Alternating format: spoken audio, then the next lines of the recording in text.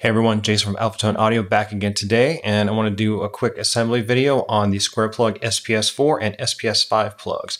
If you have a loop switcher or something like that on your pedal board, these are my favorite plugs for something like that because as far as a quarter inch plug, these are about as short as you can get. So they're not taking up a lot of depth on your pedal board. You can get that first row of pedals really, really close to your loop switcher. So the SPS4 and the SPS5, they are identical in every single way except for one. The SPS4 on the left has a slightly smaller exit hole. Uh, the SPS5 on, on the right here has a slightly larger one. So basically smaller cables go in this one and larger cables go in this one. So and the, the assembly process for the two plugs is identical as well. So for today, I'm going to do the SPS4 and I've got some Mogami 2314 here. So to start, simply just unscrew and you're going to have in here, there's going to be a small insulator, which doesn't want to come out. Yeah, you're going to have this little ring and make sure you keep that. It's just a little insurance that your solder tabs aren't going to ground out to the body of the plug. So it usually stays in there pretty well. So that stays in and you have your two screws. You don't need to take them out.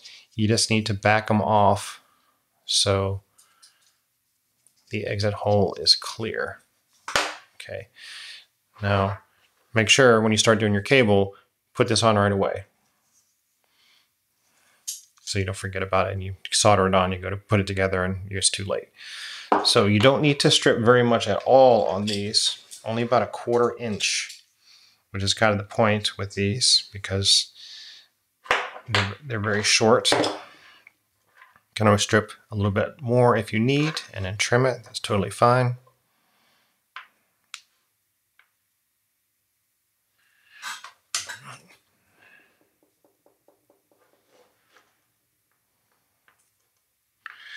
Just get our shield together here. Okay, and then I'm going to strip this back about two thirds of the way.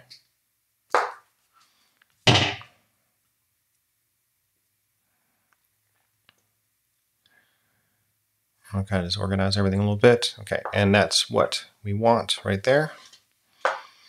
And for the actual plug, when it comes out, this is usually a little bit straight. Uh, if not, go ahead and bend it down just a little bit at like a 45 degree angle. And this bottom one we can leave alone. And I'm just gonna put that in the vise. Okay, solder iron's ready to go, so I'm gonna tin this up. I'm gonna tin the whole conductor and then just about half of the shield down there.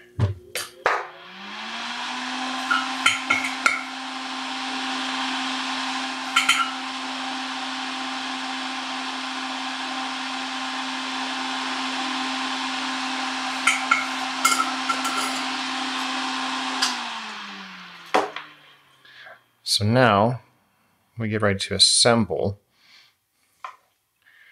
It's going to take the shield, drop it down through the hole in the bottom tab,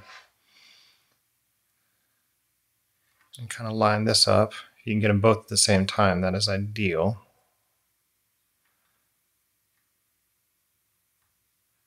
Something like that looks good. This one on the bottom a little bit long. So I'll trim it just a hair. And usually on something like this, I'll just come with the new nose pliers and I'll just crimp that up so everything's nice and snug. And just you want the wire making good contact. Now again, something I talk about all the time. You just want to make sure that nothing's going to move when you get ready to do the assembly. Now on these ones, uh, this be, depending on how much cable you have hanging off here, you may want to bring in like a helping hand or something like that. This is a standard helping hand. And I only use these on plugs like this, pretty much the SPS plugs, and I use them on the Neutrik uh, like uh, NP2Xs, NP3Xs, that kind of thing, because the strain relief isn't part of the body that you're soldering on. So it can be nice to have a little bit of additional well, a little bit of a helping hand on there. So and on mine, like I said before, I actually will file those teeth down a little bit and I'll put a little bit of heat shrink on there just so it doesn't leave teeth marks in my cable. So it doesn't take much. And then do the assembly.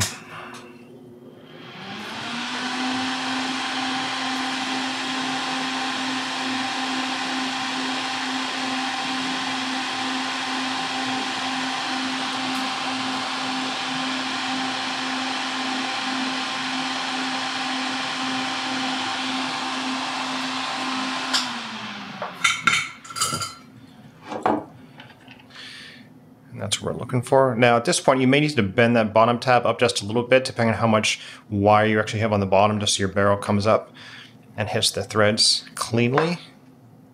And again, this PVC, it's going to come up pretty much all the way right here to the end of this tab because when you screw this on, when you put on, uh, when you tighten down the strain relief screws, you want to make sure they're hitting this outside PVC jacket and they're not coming up short. So again, make sure that your insulator's in there. The screws on. And then the strain relief screws go down. And you don't need to torque these down. You'll feel that the head of the screw. Is just going to come down flush to the body and that's all the i mean it doesn't make any sense to tighten anymore after that. And you, can actually i've done it on a couple plugs. You can actually strip these if you crank them down tight enough. So just tighten them down just so the bottom of the screw hits the um, hits the body and maybe just like just a little bit more force after that just to make sure they don't get loose and come out and that's all you need. Now if you really want to double check this you can unscrew i'll go ahead and do it. You can unscrew these again, once you put it on, take your barrel back off and you should see the dent here for where the screw and you should make sure that that circular dent that's made from the screw is 100% on the outer jacket of the cable and it's not like half on and half off. That means that your strip links were correct. And once you check that again just quick reassemble screw that back on and your two strain relief screws and that's it. Again, these are great plugs for certain situations. I really like them. Do quite a bit of these on pedal board builds, especially with the loop switchers. So if you're in need of a stubby quarter inch TS plug, definitely check these ones out. That's all I have for this one. I hope this was helpful. If it was, please like and subscribe, and I will see you next time.